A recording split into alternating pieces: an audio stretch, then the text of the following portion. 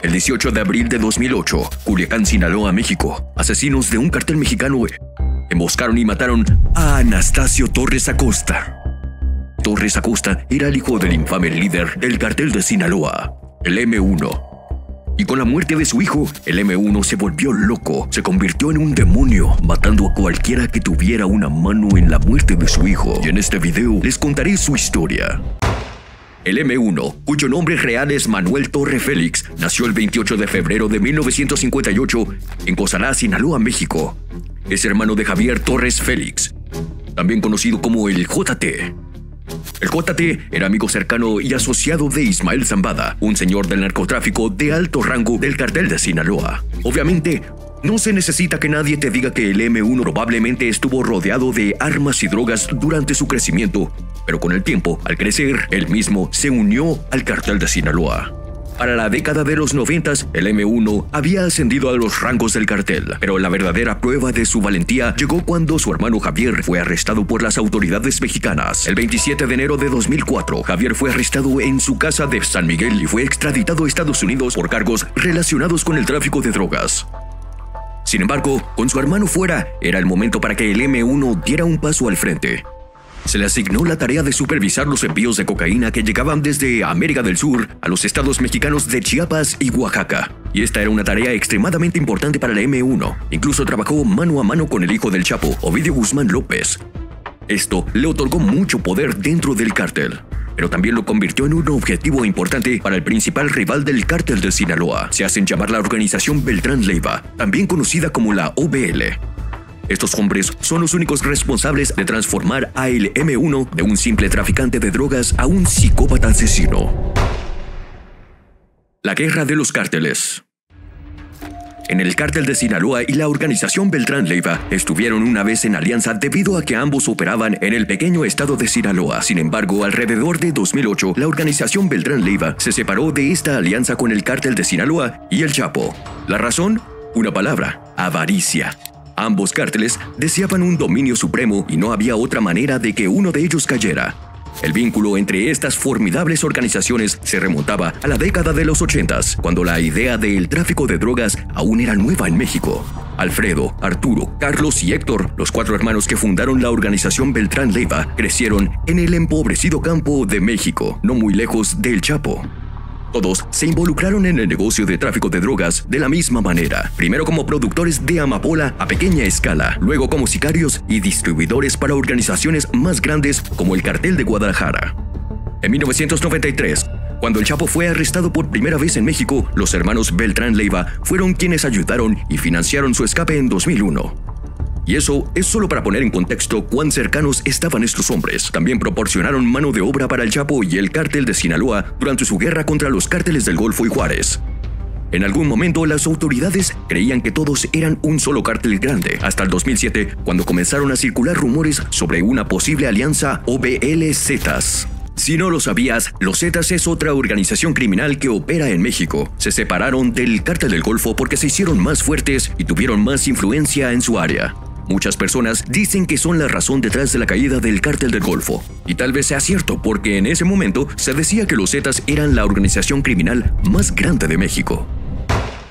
Los Zetas controlaban las drogas traficadas a través de la costa de México y una alianza complementaría el control de la costa oeste por parte de la organización Beltrán Leiva, dejando completamente fuera de operación al cártel de Sinaloa.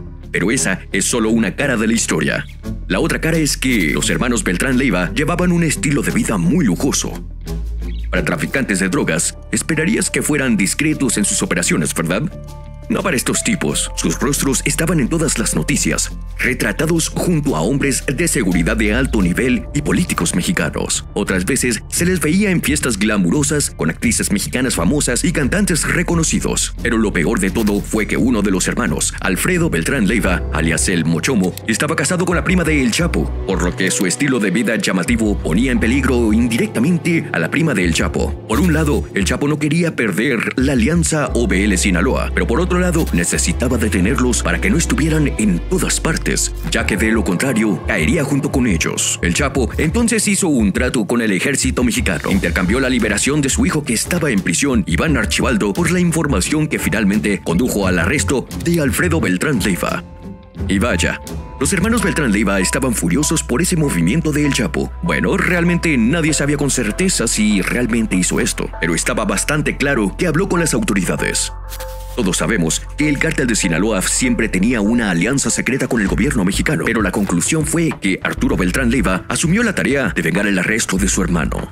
Se fue tras el Chapo, su aliado Ismael Zambada García, alias El Mayo, y todos los demás líderes bajo el cártel de Sinaloa, incluyendo el M1. El primer ataque fue contra el hijo de 22 años del Chapo, quien fue abatido por 20 sicarios del cartel Beltrán Leiva cuando salía de un centro comercial en Culiacán. Esto fue seguido por hasta 116 asesinatos, 24 de los cuales eran miembros de las autoridades mexicanas.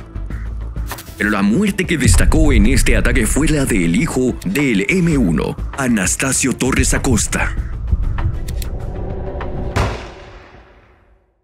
El ascenso del demonio.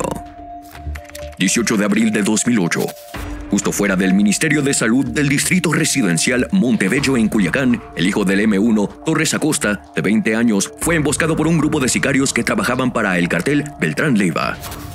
Torres fue emboscado con su hermana de 4 años, Alondra, y la cuñada del M1, Rivas Heredia. Los sicarios intentaron secuestrar a Torres Acosta, pero él se resistió lo que los llevó a abrir fuego y matarlo en el acto. Los disparos alcanzaron a la niña de 4 años en su brazo y hombro derecho, mientras que alcanzaron a la cuñada del M1 en la pierna izquierda.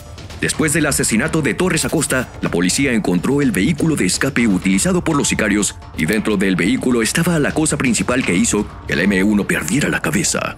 Encontraron un AK-47 y un mensaje escrito que decía, El nombre de tu amigo y sus sobrinos, los Zetas para que puedas entender Manuel Torres. Este mensaje activó algo en la cabeza del M1, convirtiéndolo en una persona completamente diferente. Se volvió loco y estaba sediento de venganza. Unos días después de la muerte de su hijo, el M1 pidió a los hombres bajo su mando que reunieran tantos miembros de la OBL o los Zetas como pudieran y los ataran en su rancho para torturarlos. Esto fue el momento en que el lado psicótico real del M1 cobró vida torturó a cada hombre antes de matarlos a sangre fría. Una de las víctimas del M1 fue el comandante de la Policía Municipal Roberto Carlos Barceló Villagrán. El M1 le hizo cortes profundos en la espalda con cuchillos, le cortaron las piernas y luego le cortaron la cabeza mientras todavía estaba vivo. Ni siquiera puedo imaginarlo. Pero de todos modos, su cuerpo fue abandonado con otros dos en el maletero de un automóvil mientras sus sicarios tomaron los cuerpos de otras víctimas y los dejaron regados por todo Culiacán. Y tal vez pensaste que una o dos o tal vez cinco muertes habrían saciado la sed de venganza del M1. No lo hizo. Y por cada hombre que mató, se volvió más y más emocionalmente inestable. Y también, con cada muerte que pasaba, la guerra entre la organización Beltrán Leiva y el cartel de Sinaloa crecía fuera de control el comienzo del fin. Torturar a estos hombres le valió a el M1 el apodo de El Ondeado, esto por estar aparentemente enloquecido. Torturó y mató a más de 30 sicarios diferentes de la UBL y ordenó la muerte de cientos más. Pero por mucho que fuera un asesino, el M1 era un hombre muy astuto. Sabía que lo buscaban, así es que se aseguró de nunca salir de su ciudad natal y también se aseguró de que los sicarios de la OBL o los Zetas que mató fueran llevados a su rancho personal. También durante su ola de asesinatos trabajó con Ismael Zambada García, alias El Mayo, para controlar algunos de los asuntos del cártel de Sinaloa.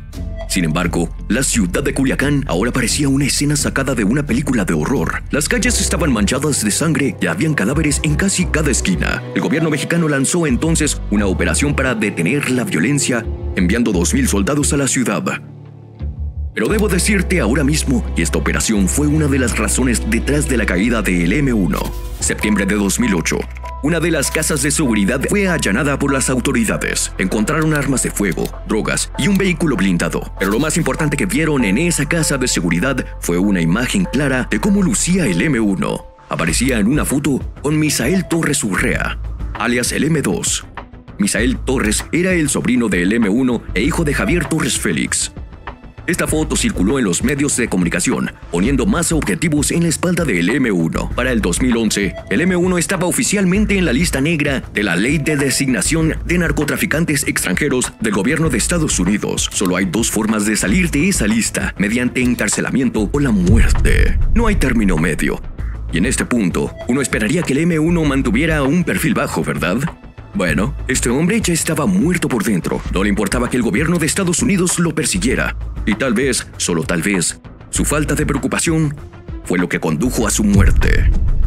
El 13 de octubre de 2012, en Oso Viejo, Culiacán, Sinaloa, el M1 iba en un convoy de vehículos con sus guardaespaldas cuando fueron interceptados en la carretera por fuerzas federales mexicanas. Intentaron evadirlos, pero no había escapatoria. Lo que el M1 y sus hombres no se dieron cuenta fue que varios días antes del incidente, miembros de la Fuerza Especial Mexicana y la novena zona militar habían triangulado su ubicación exacta, esperando a que saliera de su escondite. El ejército mexicano había colocado hombres armados en cada rincón de la ciudad, así es que no había salida. Luego, en medio del calor del momento, el M1 bajó del vehículo en el que iba y trató de huir por las colinas. Sin embargo, lo abatieron en el acto. Su cuerpo fue alcanzado por seis balas, una en el abdomen, una en el muslo izquierdo y la pierna inferior, mientras que el resto impactaron su torso. El M1 murió, pero como una forma de rendir homenaje a su hijo, por quien comenzó toda la ola de asesinatos, fue enterrado en un cementerio fuera de la ciudad de Culiacán, donde también yacen los restos de su hijo, Anastasio. Pero eso ni siquiera es el final de la historia. Tan estructurado y sofisticado como ha sido el cartel de Sinaloa, la muerte del M1 tuvo un gran impacto en sus organizaciones. Por un lado, la presencia del ejército mexicano aumentó drásticamente en el estado de Culiacán y luego, tres días después de la muerte del M1, se colocaron mandas en toda la ciudad acusando a Ismael Zambada García de traicionar y arreglar la muerte del M1 por parte de las autoridades mexicanas. El cártel de Sinaloa tomó unas semanas para reajustar su cadena de mando y flujo de operaciones antes de decidir ir tras la OBL. La OBL sabía que el cártel de Sinaloa vendría por ellos, así es que finalmente entraron en una alianza con los Zetas. Sin embargo, este fue el periodo en el que el Chapo volvió a la cima para encargarse de las operaciones del cártel de Sinaloa. El Chapo instruyó a sus sicarios ir tras los miembros de la OBL y matarlos sin pensarlo dos veces. Luego, después de la muerte de uno de sus líderes, Arturo Beltrán Leiva, el cártel ha estado en una caída interminable desde entonces. Ahora el M1 se ha ido. El Mayo es un fugitivo. El Chapo está encarcelado en la prisión más dura de Estados Unidos, la ADX Florence. Pero incluso sin estos hombres, el cártel de Sinaloa sigue operando de la misma manera. Aún trafican la misma cantidad de narcóticos a través de las fronteras mexicanas.